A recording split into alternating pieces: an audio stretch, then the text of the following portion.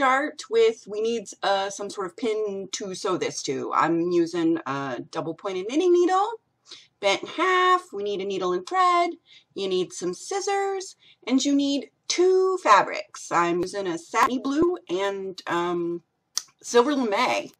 Uh, yay.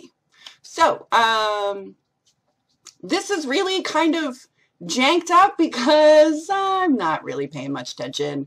Uh, it's if I wanted it to be perfect, I could have pinned it, but it turns out okay, so I don't care. So basically, you want about four inches of fabric, um, you know, like top to bottom, and then from side to side, it just depends on how big you want it. So I cut the satin first, and then I cut the silver lame. I do use different scissors for the lame because that thread is metallic and it'll really dull your scissors and needles quick. And then you just basically cut some triangles um, of varying sizes. It doesn't need to be uniform.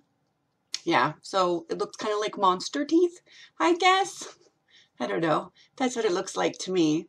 But yeah, you just cut some triangles uh, out of both fabrics. I'd lie them one on top of the other because that seemed the quickest way.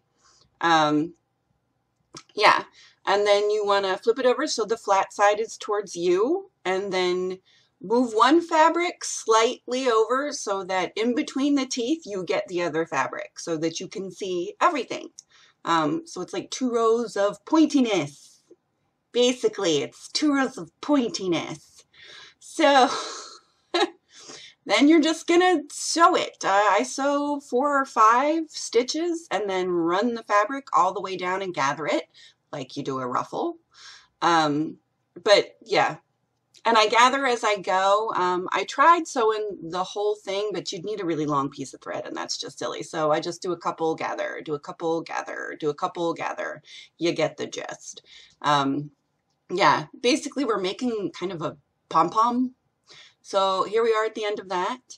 And um, yeah, once you get it all gathered onto your thread, uh, it's pretty. It looks kind of like a mum or a firework, maybe. I don't know. It's spiky. It's kind of like a sea urchin.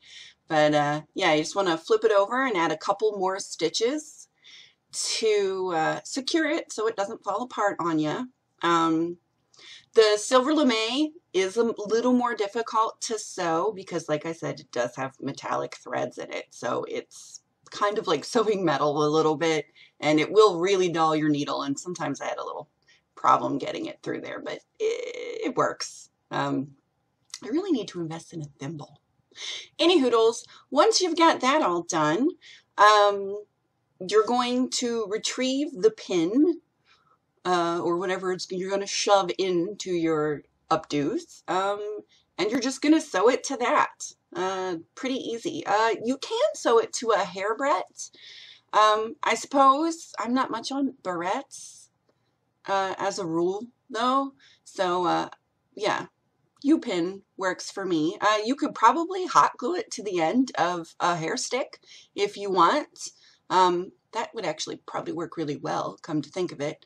But, uh, you know, I had extra of these, uh, like U-pin knitting needles. So there we go. That's what it looks like when it's all done.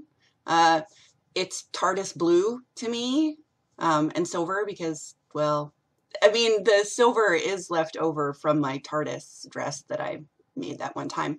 Um, oh, and here's a little bit of video so you can see what it looks like when it's all done and in a hair style. Um, this hairstyle, by the way, will be tomorrow. Um, it's lopsided for an extra big hair toy. So, yay, there you go.